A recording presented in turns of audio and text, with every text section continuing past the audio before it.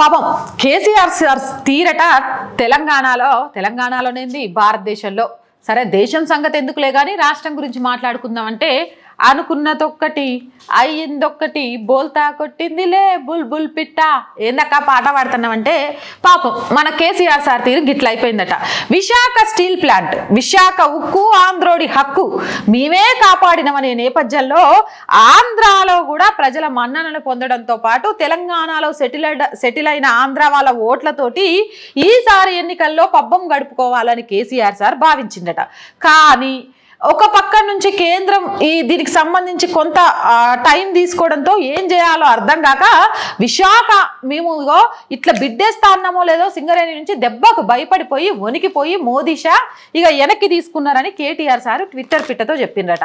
ఇక దీనివల్ల లాభం ఎంత జరిగింది? అంటే విమర్శలు ఎక్కువైపోయాయే కానీ పెద్ద లాభం జరగలేదు అనే వాదనలు రావడంతో పాటు సింగరేణి ఏ సింగరేణితో అయితే బిట్టింగ్ వేస్తాను బెడ్డింగ్ వేస్తాను అని చెప్పేసి కేసీఆర్ చేసిండ్రో గా సింగరేణి కార్మిక సంఘాల నాయకులతో పాటు కార్మికులు కూడా కేసీఆర్ సార్ గుట్టు రట్టు చేసిండట ఇది వెలుగులో వచ్చిన ఒక ఆర్టికల్. ఈ ఆర్టికల్ చదివినంతసేపు కూడా నాకు చాలా విషయాలు ఈరోజు తెలంగాణ ప్రజానికానికి తెలియాల్సిన అవసరం ఉంది.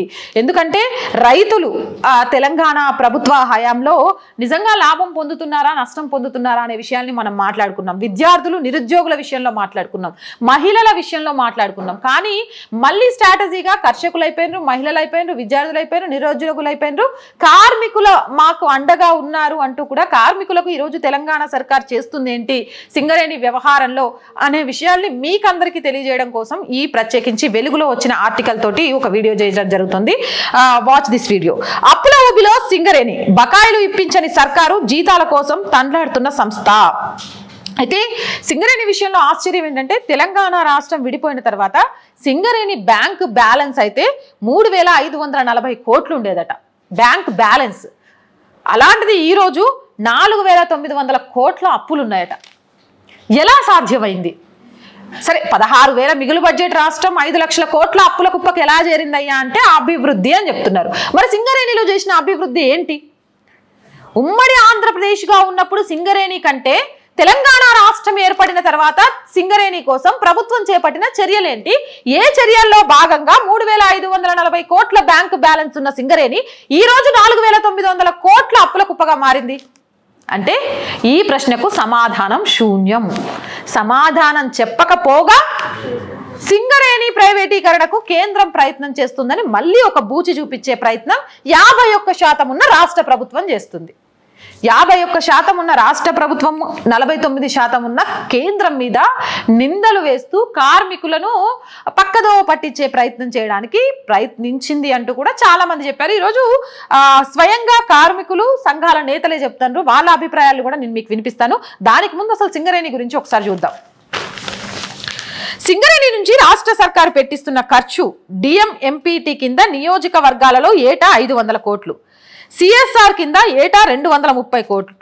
కోల్ బెల్ట్ నియోజకవర్గాల్లో అభివృద్ధి పేరిట పన్నెండు మంది ఎమ్మెల్యేలకు కలిపి ఏటా ఇరవై నాలుగు కోట్లు. కరోనా సాయం కోసం అంటూ తీసుకున్నవి నలభై కోట్లు. రామగుండంలో ప్రభుత్వం కట్టబోయే మెడికల్ కాలేజీకి తీసుకున్నవి ఐదు వందల కోట్లు. Ramagundam medical college. KCR sir స్వప్నం. అసలు కేసీఆర్ సార్ లేకపోతే అయ్యదా సింగరేణి నుంచి ఐదు వందల కోట్లు తీసుకున్నాం. కరోనా టైంలో తీసుకున్నాం ప్రతిసారి. పన్నెండు మంది ఎమ్మెల్యేలు. అభివృద్ధి పేరిట ఇరవై నాలుగు కోట్లు. అంటే సింగరేణి నుంచి పక్క వాటికి పైసలు ఎలా ఖర్చు పెడుతున్నారు? నిజంగా కూడా ఈ పైసలన్నీ కూడా సరే ప్రజా శ్రేయస్కరం కోసమో ప్రజా మనుగడ కోసము ఎంతవరకు సఫలీకృతం అయింది అనేది కూడా ఒకసారి ఆలోచన చేయాలి. జెన్కో ట్రాన్స్కో నుంచి రావాల్సిన బాకీలు పదిహేను వేల కోట్లు. జెన్కో ట్రాన్స్కో గురించి అస్సలు మాట్లాడొద్దు.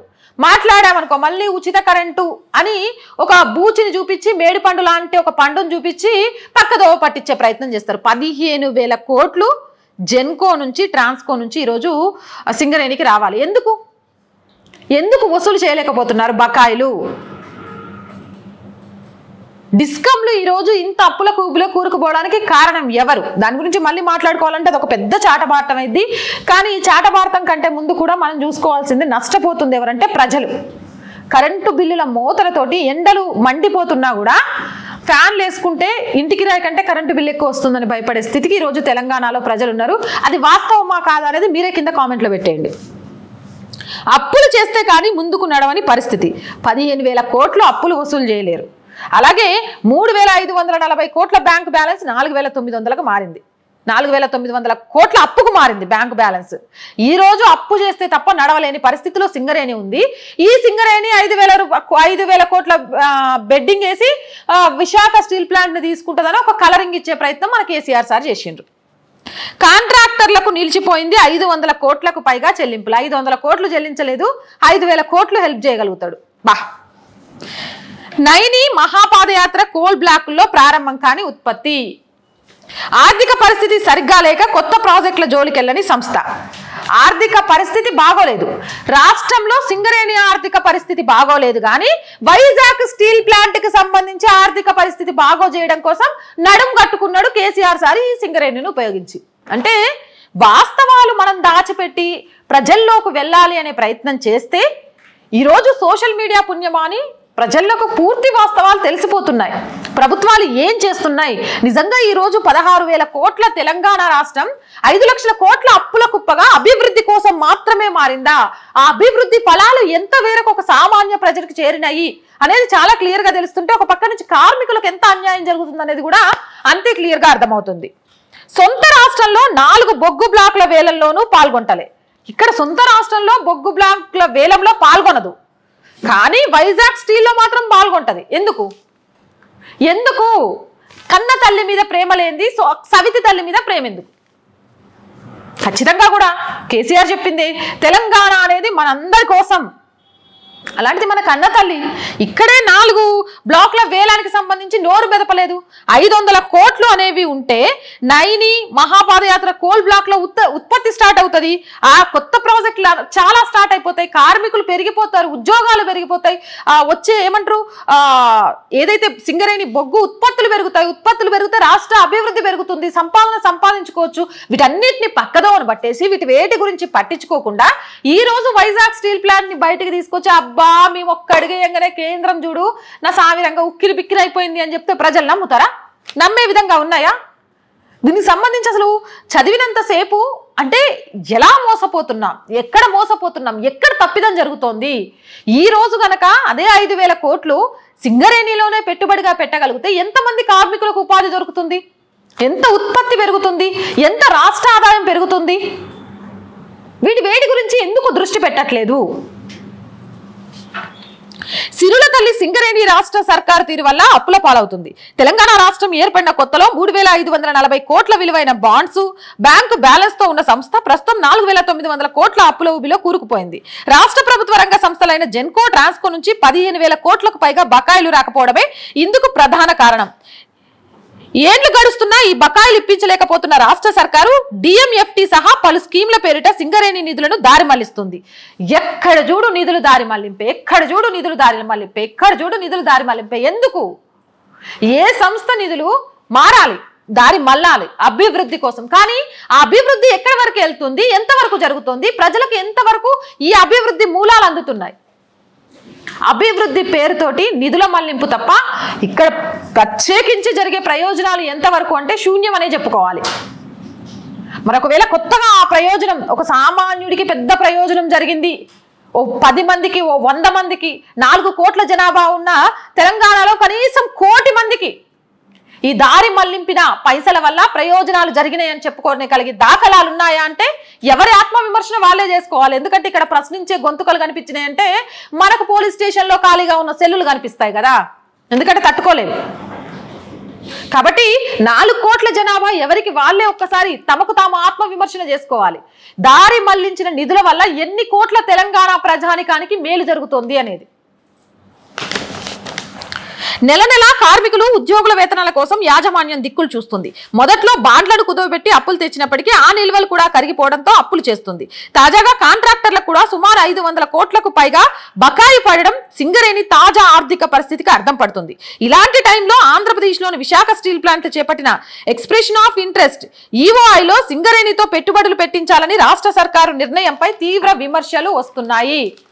విమర్శలు కాదు అసలు బండారం బయటపడింది అని పాపం అధికార పార్టీ నేతలే బాధపడుతుండట ఏందో ఈ మధ్యకాలంలో ఏదో చేయాలనుకుంటే ఇంకేదో అవుతుంది అని.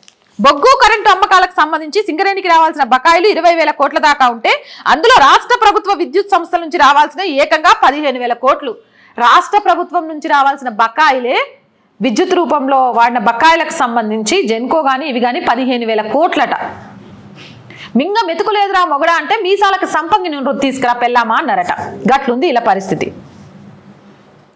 డిస్ట్రిక్ట్ మినరల్ ఫౌండేషన్ ట్రస్ట్ కింద అభివృద్ధి పనుల పేరిట నియోజకవర్గాలకు ఏటా ఐదు వందల కోట్లు. ఇప్పటి వరకు ఈ డిఎంఎఫ్టి రూపంలో రాష్ట్ర సర్కారుకు మూడు వేల కోట్ల దాకా సింగరేణి ఖజానాకు కన్నం పెట్టింది. ఎక్కడ చూడు కన్నం పెట్టడమే. సర్పంచ్లకు వచ్చే పైసలు డిజిటల్ దొంగ సంతకాలతో తీసేసుకోడు. సింగరేణి పైసలు అభివృద్ధి పేరుతో తీసుకేసుకోడు ఇవన్నీ తీసుకున్నా సరిపోవట్లేదని మళ్ళీ ఐదు లక్షల కోట్ల అప్పులకు పగ చేసి పెట్టుడు. ఇదేం అభివృద్ధి అన్నది ఎవరికి వాళ్ళు చూడాలా? ఇక ఇవి చాలవన్నట్టు కోలుబెల్ట్ నియోజకవర్గాల్లో అభివృద్ధి పనుల పేరుతో పన్నెండు మంది ఎమ్మెల్యేలకు ఏటా రెండు కోట్ల చొప్పున ఇరవై నాలుగు కోట్లు. ఈ పన్నెండు మంది ఎమ్మెల్యేలు కూడా సమాధానం చెప్పాలా? రెండు రెండు కోట్లు ఒక్కొక్క నియోజకవర్గానికి ఎక్కడ ఖర్చు పెట్టిండ్రు ఏం చేసిండ్రు? ఇక్కడ పైసలు బోవుడే కానీ ఒక్కటంటే ఒక్కటి కూడా యూటిలైజేషన్ సర్టిఫికేట్ దొరకదు. ఈరోజు కేంద్రం నుంచి సగం నిధులు ఆగడానికి కారణం చాలా క్లియర్గా కేంద్ర ప్రభుత్వం చెప్తోంది యూటిలైజేషన్ సర్టిఫికేట్స్ అనేవి బయటికి రాకపోవడమే అని. ఇక రామగుండంలో ప్రభుత్వం కట్టబోయే మెడికల్ కాలేజీకి ఐదు వందల కోట్లు సింగరేణి నుంచి ఇచ్చేలా ఒప్ప ఒప్పించింది. రాష్ట్ర ప్రభుత్వం ఏది చెప్తే దానికి సింగరేణి సీఎండి శ్రీధర్ ఊకొట్టడం వల్లే సంస్థకు ఈ పరిస్థితి దాపరించిందని కార్మికులు కార్మిక సంఘాల నేతలు ఆరోపిస్తున్నారు. సింగరేణి సంస్థ ఆర్థిక పరిస్థితి ఆశించినట్లు లేకపోవడం వల్లే గడిచిన కొన్నేళ్ళుగా కొత్త ప్రాజెక్టులు చేపట్టడం లేదు. ఇక సింగరేణి సీఎండి శ్రీధర్ ఏంది? తెలంగాణలో ఏ శాఖకు సంబంధించిన అయినా సరే రెండు రెండ్లు ఎంత అంటే కేసీఆర్ ఎంత చెప్తే గంత. అట్లంటేనే ఆ అధికారైనా ఉంటాడు ఆ నాయకుడైనా ఉంటాడు. అది వాస్తవం. చాలామంది ఈరోజు సింగరేణి కార్మికులు అలాగే కార్మిక సంఘాల నేతలు చెప్తున్నారు ఇంతకు ముందు విశ్లేషకులు చెప్పేటోళ్ళు ప్రతిపక్ష పార్టీలు చెప్పేటోళ్ళు విద్యార్థి సంఘాల నేతలు చెప్పేటోళ్ళు. ఇప్పుడు ఇది కొత్తగా. టీఎస్పీఎస్ ఇది మాత్రం ఏంది నిర్వాకం? చైర్మన్ ఈ రోజు వరకు ఎందుకు అట్లా ఉన్నాడు? దర్జాగా సస్పెండ్ అవ్వకుండా. ఎందుకంటే రెండు రెండులు ఎంత చైర్మన్ అంటే సార్ మీరు ఎంత చెప్తే అంత అంటాడు కాబట్టి ముప్పై లక్షల మంది జీవితాలు బయటకు వచ్చినా పెద్దగా దానికి ఎలాంటి పనిష్మెంట్ లేకుండా ఉంది. ఇక సింగరేణిలో శ్రీధర్ పరిస్థితి కూడా అంతే. టర్నోవర్ పెరుగుతోంది కానీ లాభాలు పెరగట్లే. నెల నెల జీతాల కోసం దిక్కులు చూస్తాండ్రు. రెండు వేల పద్నాలుగుతో పోలిస్తే టర్నోవర్ మూడు రెట్లు పెరిగింది. కానీ మరి అప్పటికున్న బ్యాంకు బ్యాలెన్స్ మూడు రెట్లు పెరిగిందా అంటే కాదు. అప్పులు మాత్రం దానికంటే ఎక్కువగా పెరిగిపోయినాయి. రెండు వందల యాభై కోట్ల మేర జీతాలు ఇవ్వాలి కానీ సరిపడా ఫండ్స్ లేకపోవడంతో ఒకటో తారీఖు వస్తుందనగానే సింగరేణి ఆఫీసర్లు బ్యాంకుల వద్దకు పరుగులు పెడుతున్నారు. జీతాల కోసం పాత అప్పులకు వడ్డీలు కట్టేందుకు కాంట్రాక్టర్ల చెల్లింపుల కోసం బాండ్లు బ్యాంకు బ్యాలెన్స్ ఇప్పటికే కరిగిపోగా నెల నెల కొత్త అప్పులు చేస్తాండ్రు. హ, సింగరేణి బాండ్లు కూడా అయిపోయినాయట. సింగరేణిలో తాకట్టు పెట్టుకోవడానికి బాండ్లు లేకుండా అయిపోయినాయట. మనం ఎట్లా నడుపుతున్నాం? మనం ఆదర్శం. మనం మళ్ళీ కేంద్ర ప్రభుత్వం ఇక్కడ వస్తే సింగరేణి కార్మికులందరితో కలిపి ధర్నా చేయాలా? ప్రైవేటీకరణ చేస్తుంది అని. మనం ఏం చేసినాం సింగరేణికి? గడిచిన తొమ్మిదేళ్ళలో సింగరేణి కార్మికుల కోసం సింగరేణి కోసం మనం ఏం చేసినామంటే మంచి బ్యాంక్ బ్యాలెన్స్ ఉన్న ఒక సంస్థను తీసుకొచ్చి అప్పుల కుప్పం చేసి మన రాష్ట్ర ప్రభుత్వంలో కొన్ని పనులు కావడం కోసం అక్కడున్న అధికారితో ముచ్చట్లు చెప్పేసి నిధులు మళ్ళించుకోవడం ఎట్లా అనేది మాత్రం ఆలోచిస్తున్నాం. అదే కదా? దీనికి సంబంధించిన పూర్తి అర్థం. వైట్ పేపర్ రిలీజ్ చేయాలా? రాష్ట్ర ప్రభుత్వ బకాయిలు చెల్లించకపోవడంతో సింగరేణి అప్పుల్లో కూరుకుపోతుంది. ఏటా టర్నోవర్ లాభాలు ప్రకటిస్తున్న యాజమాన్యం అప్పుల గురించి ఎందుకు మాట్లాడట్లేదు? సింగరేణి ఆర్థిక పరిస్థితిపై వెంటనే వైట్ పేపర్ రిలీజ్ చేయాలి. P. Madhav Nayak MBKMS BMS కార్యదర్శి. రిలీజ్ చేయండి. కేటీఆర్ సార్ మరి ఈ రిలీజ్ కూడా నువ్వే చేస్తావా? లేకపోతే ఆయన పేరు ఏంది శ్రీధర్ గాయంతో చేపిస్తావా? వాళ్ళు అడిగిన దాంట్లో తప్పులేదు కదా? ఎన్నున్నాయి? ఏం చెయ్యాలి? ఏంటి? వాళ్ళు కార్మికులు కష్టపడుతున్నారు. లోపల దిగి ఆ ఎంత కష్టం ఉంటుందో సింగరేణి కార్మికుల గురించి తెలిసిందే. వాళ్ళు అంత కష్టపడేటోళ్ళు అడుగుతున్నారు. మనం సమాధానం చెప్పాల్సింది కార్మికులకు. ఎందుకంటే సంస్థ నడిపిస్తుంది వాళ్ళు. అలాంటి కార్మికులను గురించి పట్టించుకోకుండా గాలి కొదిలేసి నాయకులకు మాత్రమే మేము సమాధానం చెప్పుకుంటూ వెళ్ళిపోతామంటే కార్మికులు చూస్తూ ఊరుకుంటారా? ఇలానే తిరగబడతారు. కార్మికుల కష్టార్జితాన్ని సింగరేణి సీఎండి రాష్ట్ర ప్రభుత్వానికి దోచిపెడుతున్నారు. స్కీముల పేరు చెప్పి వందల కోట్లను అప్పనంగా కట్టబెడుతున్నారు. బొగ్గుగడులకు సంబంధం లేని జిల్లాల్లోనూ సింగరేణి ఫండ్స్ ఖర్చు చేస్తున్నారు. ఇరవై వేల కోట్లకు పైగా బకాయిలను సింగరేణికి చెల్లించకుండా ఇబ్బంది పెడుతున్న ప్రభుత్వం విశాఖ స్టీల్ ప్లాంట్ను పరిరక్షిస్తుందంటే ఎట్లా నమ్ముతాం? Riyaz Ahmed HMS leader. కరెక్టే కదా? ఆయన అడిగిన ప్రశ్నకు కూడా.